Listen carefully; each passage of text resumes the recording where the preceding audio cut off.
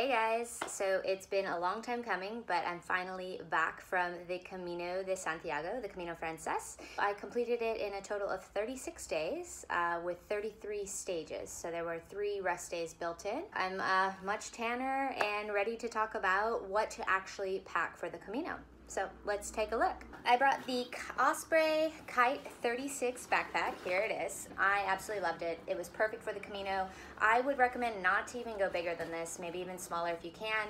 Um, the bigger you get, obviously, the more you tend to pack into it. So this is a great size. The most important thing is that you've tested it before the Camino, you've walked in it with weight um, for quite some time, and it fits correctly on you. The one thing I mentioned last time that I loved about this backpack, that it already came in with a built-in rain cover. This proved to actually be super useful on those rainy days. Even though I was wearing a poncho that covered my backpack, if I did not have this rain cover, things would still get wet within my bag. Highly recommend getting a rain cover, uh, even if it doesn't come with your backpack, purchase one anyways. Next up, let's talk about footwear. This is above all the most important thing on the Camino and it's actually really hard to specify what is the right shoe for anybody because it's different for everybody. Um, for my personal experience, this is what happened. I ended up bringing the Lowa Renegades. There were a lot of boots on the Camino, which I was actually pretty surprised about. And while they proved to be great in the Pyrenees, they were perfect. We actually got terrible weather, um, so they kept my feet um, nice and dry, uh, great ankle support. It was great for the Pyrenees. Everything after that, completely unnecessary. And I'd say about a week into wearing my boots, my feet started to hurt. I had suffered from swelling, um, and I think just because the boot weighs so much, every footstep was just becoming more harder. I got to a point where it was super unbearable to even walk in these and in Burgos, I actually had to pick up some walking sandals. So I picked up these Keen um, women's, I think they're the Venice 2 style.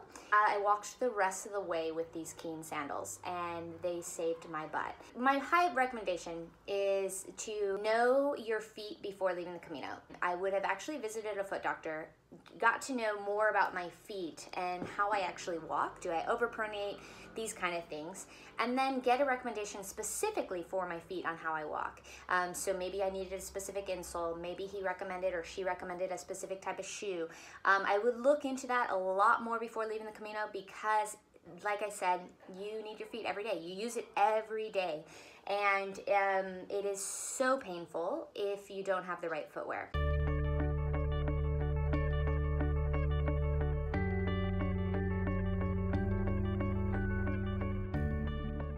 Recommend these sandals. Uh, you can definitely walk the Camino in the sandals. I walked the rest of the way in it and uh, they were great. If I were to do it again, I would probably get a walking shoe and then bring these sandals as like my backup so I can alternate if I want. But honestly, the boots, um, in my opinion, they weren't really necessary. Um, but again, it's different for everybody. I did not suffer from blisters. Um, so I had no blisters, thankfully.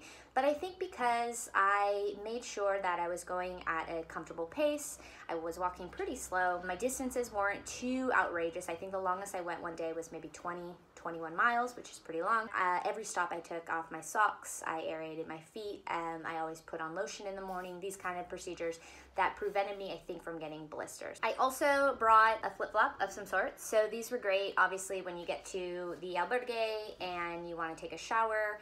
However, when I was starting to get foot problems, I actually couldn't walk in these either. It just was not enough support to walk around the towns and, you know, feel comfortable and supported just off the Camino. So I ended up walking everything literally in these sandals. Honestly, I just use the sandals for the showers. As you guys remember in my last video, I brought the McKinley Trekker sleeping bag, super lightweight, very comfortable. Um, it proved to be awesome in the uh, on the Camino. Um, highly recommend it. However, I noticed that uh, it wasn't that cold uh, at nights, at least in the albergue. So outside, yes. For me, there's a couple options. So I probably would have been just fine with the sleeping liner. And honestly, I recommend the sleeping liner if you want to cut down the weight in your backpack. The albergues, they were warm inside. Um, a lot of times you have so many bodies in one area, one space, that it actually got really hot at night. Some people would open the window and then you close the window, and then some people would close it, open it. it it's a game. It was always nice to have something to slide into, whether it was light or heavier. At the end of the day, it's your call. I would say bring one or the other. I, I would recommend this one, just a sleep liner, and you'll be fine. And then you can throw the blankets that they have there on top of you from that if you get cold. If you guys remember, I sprayed my sleeping bag with some like, you know, bug spray, bed bug spray before. Um, while I didn't encounter uh, bed bugs, I'm very, very grateful. They can happen at any point, and the spray actually doesn't really do anything. So I'd say, sure, do it if it makes you feel better, but really, in the end, it didn't end up doing anything. Just be aware of where you're staying. Definitely inspect the bed beforehand. Know what to look for. If the place feels kind of dodgy and gross, then don't stay there. Go to the next one. If they mention bed bugs, we did run into one situation where the owner was kind of iffy. He was about telling us something, and I, you know, I was talking to him in Spanish, and he's like, okay, uh, you know, we, we encountered bed bugs yesterday. And I was like, okay, this is a this is a thing. He says, but don't worry because you guys are in a private room. You are staying in like the other side, like the other. It's another hotel basically. Um, so where the albergue was, the shared space with the bunk beds, they had cleared out everything. He showed me. He sprayed everything. You could definitely tell that he was taking the right um, precautions to make sure it was okay. Luckily for us, we were in a completely other space, like an almost like an apartment, and so there was no way it was across the street that there could have been anything tracked or anything. So um, luckily we were okay, but you know a lot of people did encounter bed bugs during our time. I've ran into a few folks, and it's unfortunate and it sucks, but just know what to look for beforehand, and I think you'll be fine. If you guys remember, I brought two trekking poles, which I am so glad I did. Um, I was actually contemplating just bringing one. Um, and that was silly because I definitely needed the two. It just proved to be so useful because there's so many hills on the Camino, not just even after the Pyrenees, you approach so many hills throughout the whole entire Camino that when you are exhausted and tired, this just helps so much. And it takes off the impact off your knees, everything. I had no knee injuries, thank God. Um, so I really love these things. The other tip why I recommend bringing walking poles is your hands tend to swell easily throughout the day when you're walking, just from just kind of having them lower. So when you have the poles, they're constantly in motion, that your hands don't swell. So this is a great tip if you don't want swelling hands because they are really annoying, um, to bring your poles. And if I didn't feel like walking with my poles for one day, no big deal. I put them in my backpack and it was fine. If you don't want to travel with them, you can purchase them in Spain as well. There's tons of places that sell them. One thing on the poles, um, I mentioned the rubber bottoms. So as you can see here, the rubber bottom basically went through the, the pole. Um, and this is very typical. Uh, this lasted probably like, this happened like three days in or four days in, like right after the Pyrenees. And then throughout the Camino, this was already my second set. One thing I recommend, maybe try, I did see like the thicker ones. There's ones that like rock, you could try those. They're nice to have. I really appreciated them but they will go through after some point, so maybe get thicker ones. I brought this water bottle, and it was great. Uh, easy to refill, um, perfect in that sense. Great at night if I wanted it near my bed to just quickly grab. I loved it.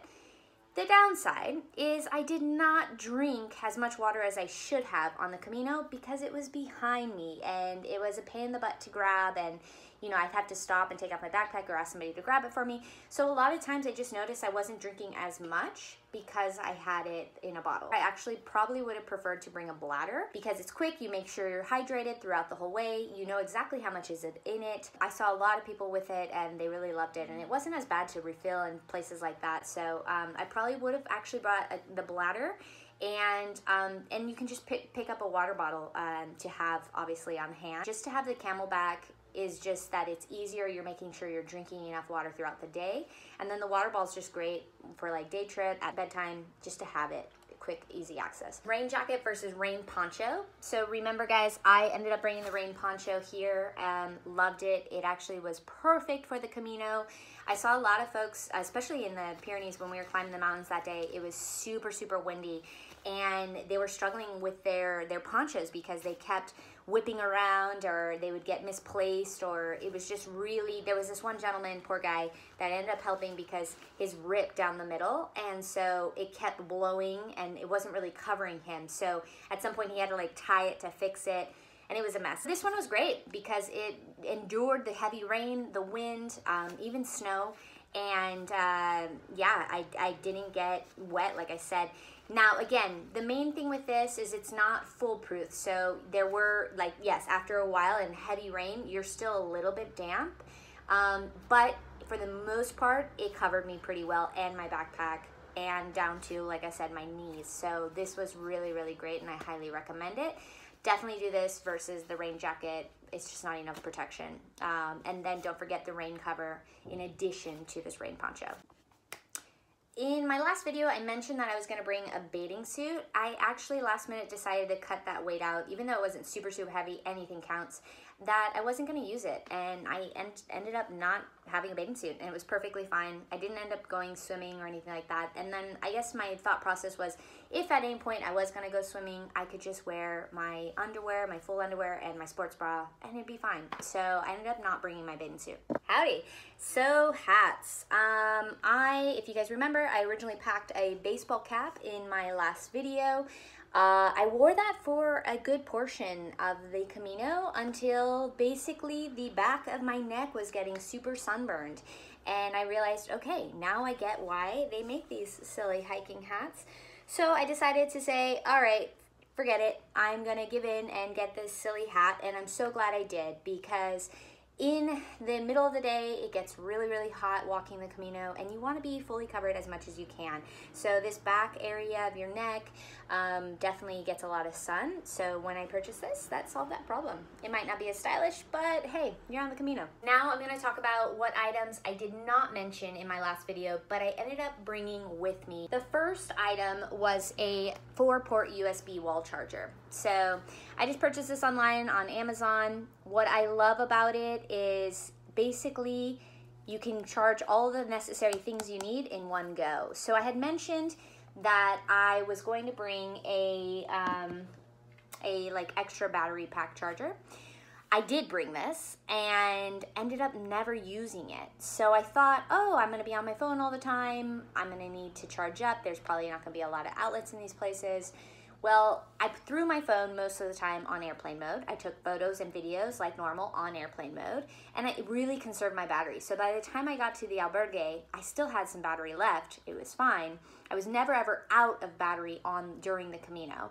And I never used this, and it's so heavy. I ended up shipping it back in Leon. Yeah, it was extra weight that I didn't need to carry. What really was helpful was having this four-port USB wall charger. Um, what's great too is instead instead of wasting that space other people can also plug in as well so you can share with the community there.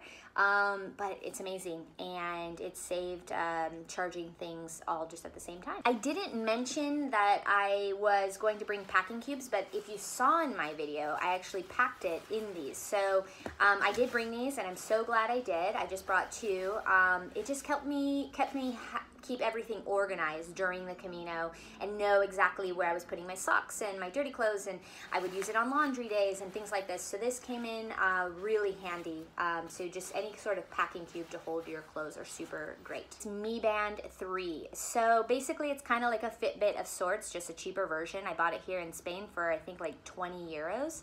And I what I love about it is you essentially can get the time, the date, your your tracking. So this was I just wanted to know the distance that we were doing every day, and so it brings it down to every step. Your mileage, you can do kilometers.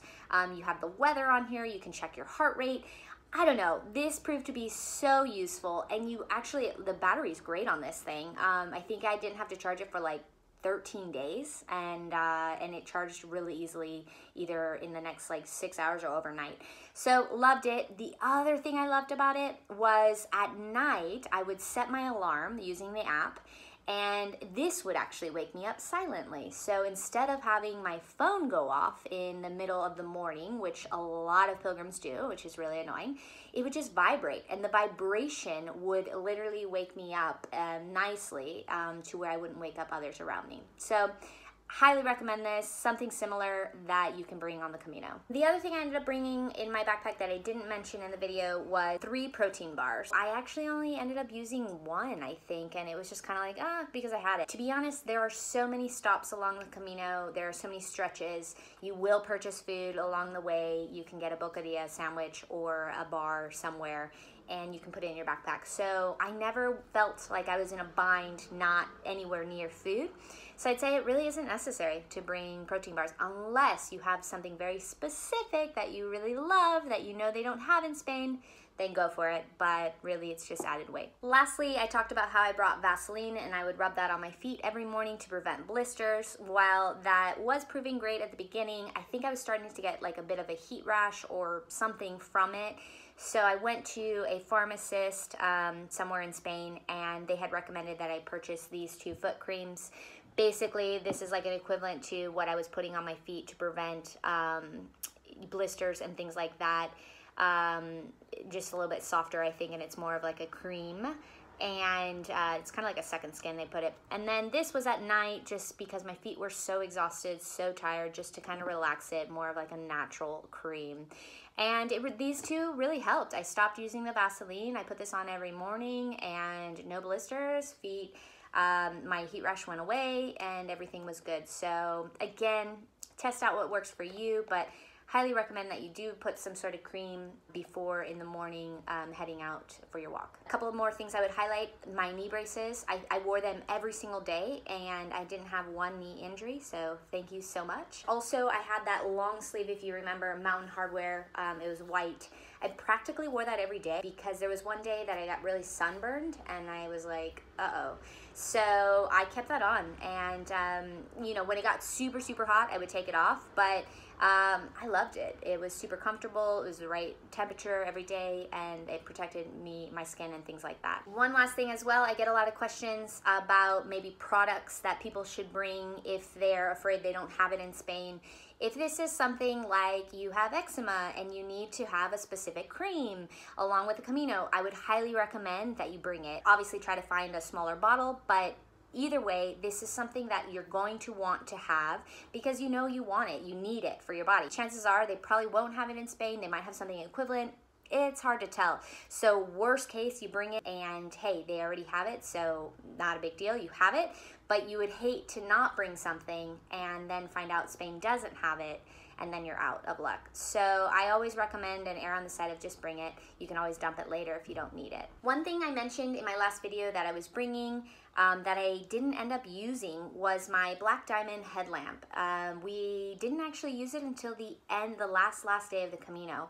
So I thought that we'd be waking up super early and I'd need it for these morning hikes Turns out um, that yes, people still get up super early, but it's completely unnecessary. The light is super bright uh, in these dark, dark rooms. I, I hated when somebody would actually use this light while trying to get ready because it was it would brighten the whole entire room. By the time you get up, you have breakfast, you head out the door. It's like seven. There's light out. It, you should be fine.